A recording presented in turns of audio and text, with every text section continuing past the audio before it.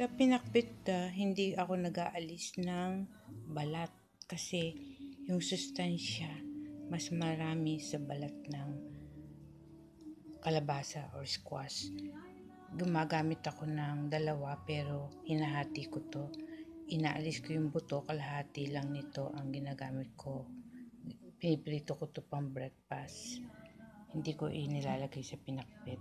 So, ito, bawang, sibuyas, kamatis, saka yung katas nito ay sinasama ko rin.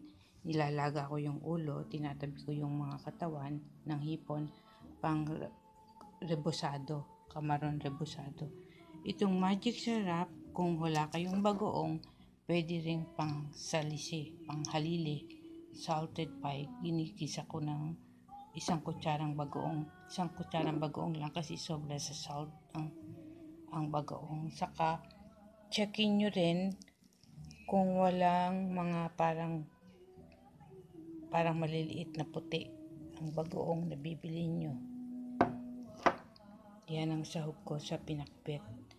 At yung gulay, binabat ko kasi yung sitaw, saka yung yung ibang sangkap, sitaw, saka ampalaya, binabat ko sa tubig na may asin.